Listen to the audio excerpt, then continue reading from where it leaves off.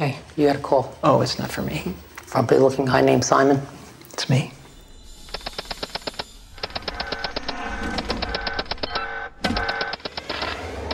How long have you been here, son? Just started, eh? Yes, sir. Seven years ago. Yeah, no, the creepy guy's here again. Hi, creepy guy.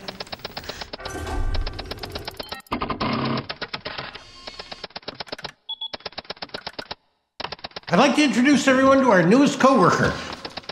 Please welcome James Simon.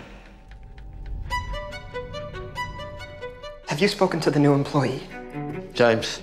Yeah, sure, I met him. But did you notice anything strange about him? I mean, did he remind you of anyone? Who did you have in mind? What'll it be? I'll just have a Coke, A Coke. And you? scrambled eggs. You don't serve breakfast in the evening? Well, do you still have eggs here? Yeah. And do you have a frying pan? Yeah. Then give me the damn food. Simon, how come you don't have a girlfriend? I don't know. There's someone I've been thinking about. I have all these things that I want to say to her. I know what it feels like to be lost and lonely and invisible. You have to go after what you want. You really think she's looking at me? Yeah, yeah. All right, now lick your lips. Yeah. What? Show the tongue, but be careful not to look like a lizard. Go. I attract so many weirdos. I've never met anyone like James. What is so unique about him?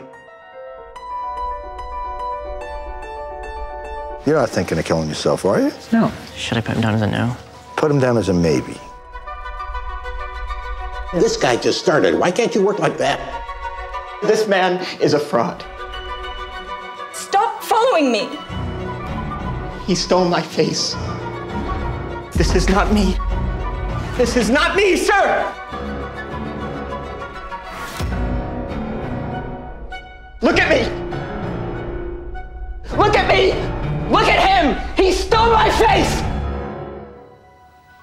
That's it? That's it.